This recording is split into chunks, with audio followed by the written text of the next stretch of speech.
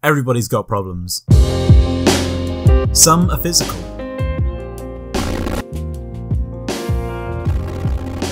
Some are personal. And some are social. These problems are difficult to solve, and sometimes it seems impossible that these problems will ever leave us.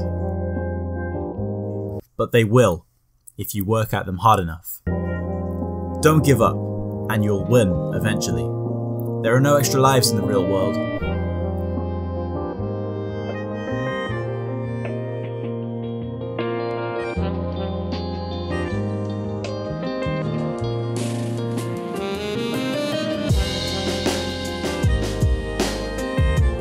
Injuries will always heal.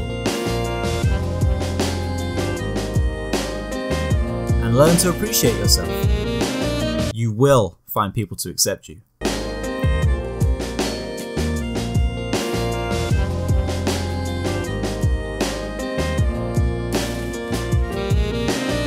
Most importantly, let yourself be healed.